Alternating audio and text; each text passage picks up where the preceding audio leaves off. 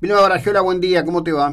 Hola José, ¿cómo estás? Bien, bien, muy bien, acá estamos. Este, contanos, este, vos estás haciendo o intentando eh, llevar adelante que la provincia este, tome una serie de consideraciones en relación a Mar del Plata, en donde desde el pasado viernes, hay que decirlo, eh, hay un sector de la construcción este, en la ciudad que ha decidido este, seguir adelante, seguir trabajando, entendiendo que el desarrollo de sus propios protocolos este, eh, ha sido este, hasta ahora eficaz en evitar una propagación del COVID-19. A ver, José, me tomo de las palabras del jefe de gabinete del Ministerio de Salud de la provincia, que habló con un medio local el último viernes, en donde planteó que estaba dadas las condiciones para hacer una excepción en lo que hace a la reactivación de la obra privada en esta fase 3. Entiendo que eh, hubo anuncios el domingo, que seguíamos en fase 3, entendí que durante el lunes tal vez lo iban a anunciar, hablé con algún concejal del bloque oficialista de la provincia de Buenos Aires y de Nación, eh, planteándole la necesidad de que necesitábamos que las 7000 más de los 7000 trabajadores que están involucrados en esa actividad y más de las 600 obras que están paradas hoy tengan que reactivarse en la ciudad porque eso implica eh, un circulante económico que, realmente muchas otras actividades tienen que ver con, con la obra privada de Mar del Plata que como vos bien lo dijiste digo los protocolos que se han utilizado eh, es mínima la cantidad de personas que han tenido alguna situación con con corona con el coronavirus este, desde mayo que se había rehabilitado esta obra privada a la fecha eh, y por otro lado no utilizan transporte público que eso tampoco tendría que ver con Mar del Plata porque no tenemos la realidad de Cava o la realidad del AMBA en materia de transporte. Se manejan con transportes particulares o en algunos casos las mismas empresas los van a buscar a domicilio y los, llevan hasta la obra. Entonces me parece a mí José que hay que reactivar estas situaciones que hoy tienen parados a tantas familias que terminan no pudiendo trabajar en su lugar donde están cuidados, donde tienen su ingreso eh, cada 15 días, etcétera, etcétera, y terminan haciendo una changa en una casa particular o en algún lugar que se lo permita, o en algunos casos en el mismo predio de residuos buscando ver qué reciclar para poder vender. Entonces, ¿dónde se pueden contagiar más? En donde los tenés cuidados, en donde los tenés realmente preservando todo, todos los protocolos estipulados, o en cualquier lugar donde tengan que ir para hacer una chenga y poder llevarse el ingreso a su casa para poder comer.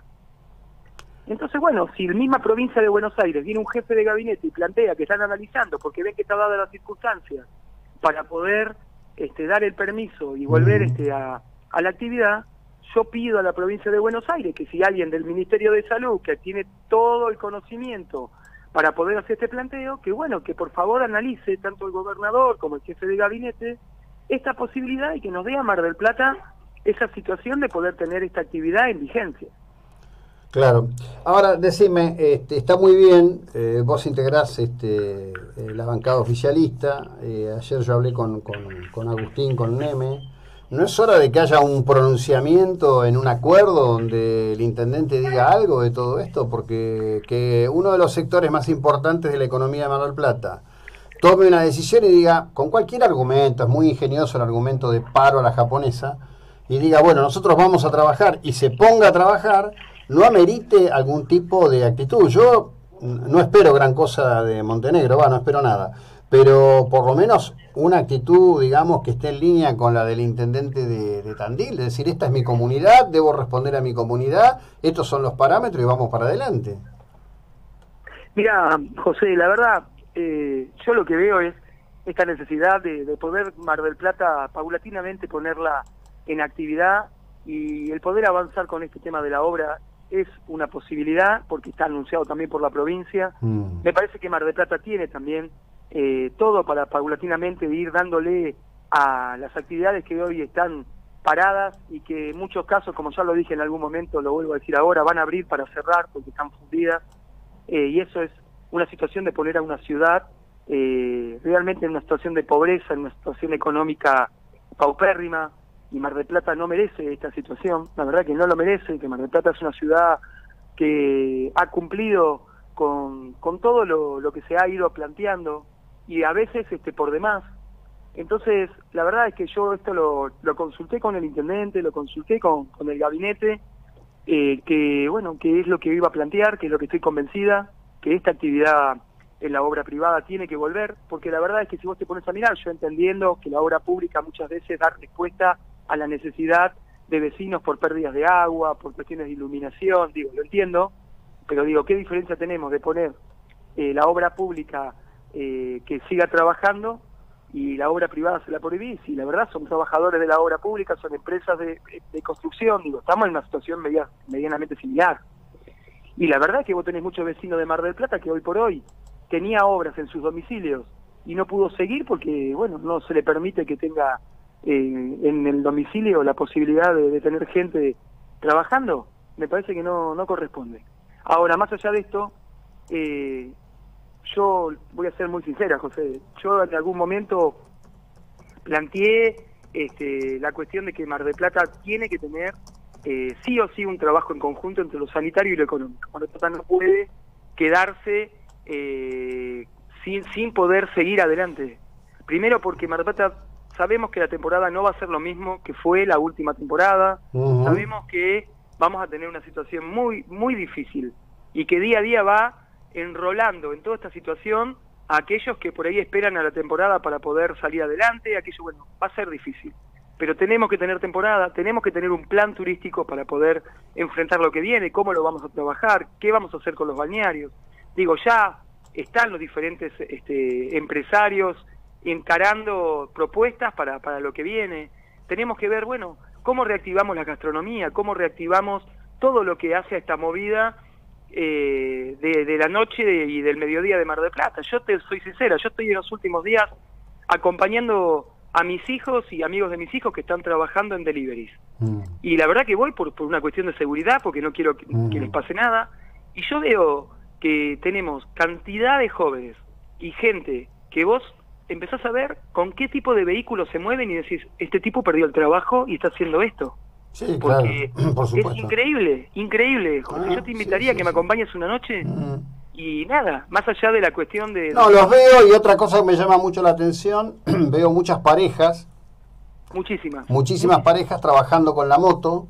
¿Sabes por qué? Porque son los dos repartidores, están anotados y hacen en el mismo vehículo dos repartos, o sea, recibe uno el llamado para ir a retirar a un comercio y recibe otro y casi siempre por ahí le dan a los dos el mismo comercio, entonces hacen dos direcciones distintas.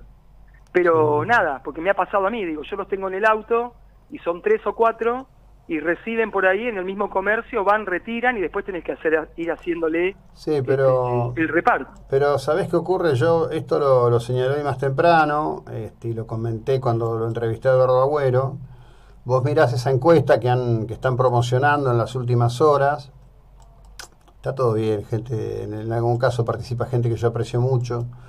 Eh, acá hay una, hay una diferencia, Vilma. Acá la diferencia es entre todos esos con los que vos estás conviviendo, que tienen que ganarse el mango, como sea, y todos los que están en el otro universo, que vos también conocés, este, que saben que el día, el último día hábil del mes, en los primeros días del mes, van a tener toda la plata dentro. Con un agravante de que hay muchos de esos que no quieren ya trabajar. Eh, hoy uno, no se puede hacer funcionar el sistema de justicia sencillamente porque no quieren ir a trabajar. Este, y tener sectores, y vos lo sabés en la municipalidad, que no quieren ir a trabajar. Ya se convencieron que, que merecen recibir dinero por estar en la casa. Mira, José, es una discusión que doy a diario. Porque te imaginarás que yo no, no he hecho cuarentena, he tomado todas las medidas necesarias para, para poder llevar adelante estos días. Yo no, no he parado. Yo desde el día que anunciaron que volvíamos a fase 1 estaba en la calle y en el día de hoy estoy en la calle, ahora es más, estoy saliendo, termino con vos y me voy a, trabajar. Y algunos me dicen, es doble barbijo, ¿eh? Sí, yo uso todo lo que tengo que usar porque depende de mí. Mis hijos, mis hermanos, mi vieja que la tengo postrada en una cama, yo no la veo a mi mamá hace 20 días, José. Digo, lo último que la vi fue hace dos días que hice una videollamada para ver si necesitaba cómo estaba, para mostrarle a mis hijos, para que vea cómo cómo está quedando, porque me terminé mudando y bueno, para que vea cómo está quedando ordenada la casa, nada digo. Un, vivir a través de, una, de la tecnología. Y la verdad es que yo he discutido el tema de eh, si haces cápsula podés ir a trabajar, si te tomás todas las medidas podés ir a trabajar.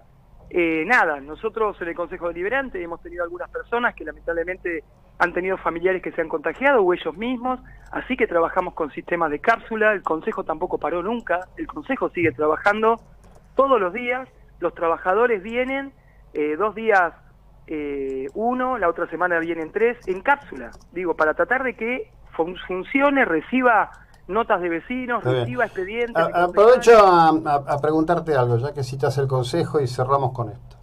¿Qué le, qué le pasó al, al frente de algunos todos? ¿Qué, ¿Qué le pasa a Gutiérrez? ¿Qué se rompió ahí en esa relación de cuasi amor que tenían con Montenegro? No, yo creo que están trabajando en línea con Nación y Provincia y bueno, ellos como bloque político siguen una línea que se les debe marcar eh, me parece que no sirve en este momento en el que estamos eh, críticas desde al municipio o desde el municipio, me parece no sirve, no estoy de acuerdo. Me parece que es momento de seguir trabajando en la búsqueda de sacar Mar del Plata adelante y la pelea no le sirve a nadie, no le sirve a nadie. Yo hablé con Marcos porque le pregunté qué es lo que había pasado, por qué se había ido de la comisión de reactivación. Él me dio sus explicaciones. Me parece que no se puede cabalgar permanentemente contra la Secretaría de Salud, me parece que no corresponde, me parece que vos tenés tiempos en política para marcar críticas y los tiempos van a ser cuando medianamente esto vuelva a la nueva normalidad y este, puedas decir, bueno, mira, terminó la emergencia sanitaria, terminó la cuestión de que tenemos que andar discutiendo fases, bueno, ahora te voy a decir lo que no me gustó, no me gustó cómo se fue, quiero citar a tal secretario, quiero hablar de tal situación, Digo, hay momentos, y no es hoy el momento. Yo estoy en el comité de crisis sanitario y lo escucho al intendente, lo escucho a la secretaria de salud, este, veo también las autoridades de línea, autoridades diferentes, centros sanitarios privados y públicos de Mar del Plata que dan ahí la mirada de lo que pasa.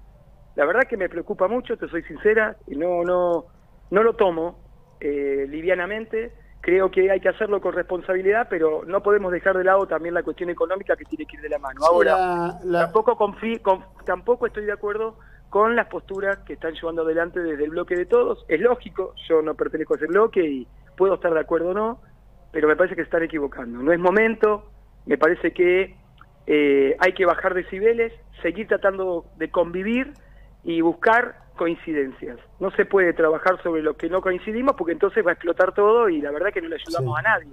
Y después viene es lo que pasa siempre. ¿Sabes qué pasa, Vilma? Yo no, no te quiero tomar más tiempo, además yo tampoco tengo No, no me robás ningún tiempo. No, no, pero lo que quiero decir es esto, yo lo, puse en la columna que actualicé el domingo. Sí, la ley. Bueno, a ver, todo, de todo lo que puse, que no es que eh, fui a una montaña y fui iluminado por, por, por alguna cosa celestial. A ver, Muchachos, tuvieron cuarenta y pico de días de la, de, la cuarentena más dura para ordenar lo que pasaba en el sistema. ¿Cómo puede ser que en el Husey no haya un área COVID-19 después que hubo un acto con un montón de figuras rutilantes que nos decían que nos estaban cuidando y no hay una, perdón la expresión, puta cama de unidad de terapia intensiva? ¿Cómo puede ser que nos digan todos los días que estamos al borde de la locura y yo recibo todos los días el parte de liga y estamos lejos de la locura? ¿Cómo puede ser que mezclen todo y haya un profesional que diga que estamos de rodilla ante el COVID cuando lo que pasó es que en las, clínicas de a poquito vuelven a trabajar y tienen que hacer reserva de cama? ¿Por qué no dicen la verdad? ¿Por qué el Yo creo que la verdad está ahí, es la falta de profesionales de la salud. Yo creo que la verdad que está atrás de todo eso es la falta de profesionales de la salud para poder dar cobertura a la atención que necesita un caso COVID este, en una cama. De bueno, entonces el, día el día cero había que decir, señores, tenemos un cuello crítico, no es el equipamiento, es el personal. ¿Cómo hacemos para resolver este tema? Hoy en Mar del Plata está el municipio contratando eh, médicos y enfermeros para que puedan atender camas también de hospitales públicos. Vilma, esto que... provincia para poder hacer Está bien, pero esto lo tendrían que haber hecho hace 40 días y no seguir encerrando a la gente y jodiéndole la vida a la gente mintiéndole. Puede ser, José, pero también hay un tema. Y vos sabés que yo no, guste o no guste lo que digo muchas veces, bueno, lo, digo. Eh, yo será un tema del el tema Hussein es un tema que lo voy a plantear cuando vea que esta cosa medianamente se ha encaminado. Me parece que se han equivocado de medio a medio. Vos sabés que yo conozco perfectamente bien el Exensa, digo, sabés las vivencias que he tenido, porque has, has estado atento a la situación. Y la verdad es que ese hospital nos podría haber dado respuesta en su momento. Bueno, hoy tenemos este una necesidad de profesionales, el municipio está eh, con acuerdo con provincia contratando profesionales, convocando, bueno, listo, se trabaje para tratar de dar respuestas y cerrar un tema. Pero ahora, vuelvo a decirte, lo sanitario debe ir de la mano de lo económico. Y que alguno me discuta, bueno, lo discutiremos cuando sea el momento. En este momento no le voy a dar debate. Realmente no, no soy mezquina con lo que estoy diciendo, ni una loca, pero en este momento me dedico a, tratar de encaminar lo que necesitamos en Mar del Plata. Y yo lo puedo ver, familias que vienen a verte y que te plantean que, que han tenido una crisis y que buscan hasta el veneno de rata para suicidarse. Entonces, ¿Entendés? Digo, la que escuchamos a diario, a todos nos pasa, ¿eh? Extremos tenemos todos. Ah, la verdad es que yo no, no puedo bancar familias que nunca han, han tenido que ir a buscar una bolsa de comida que hoy vienen y te están pidiendo, aunque sea una bolsa de ah, comida. Y, bueno, pero ¿sabes, ¿sabes qué ocurre? Que acá hay un montón de gente que le gusta tenerlos a los otros pidiendo. Bueno, sabes que no es el caso mío. les gusta tenerlos pidiendo y les, y les gusta que sean brutos. Porque el otro drama es lo que pasa con el sistema de, Pero bueno, se nos iría muy largo. Te mando un beso. Gracias, Vilma. Hasta un abrazo, José. Que tenga buen día. Bueno, seguimos en un instante. Esta es la 99.9. Este, así estamos.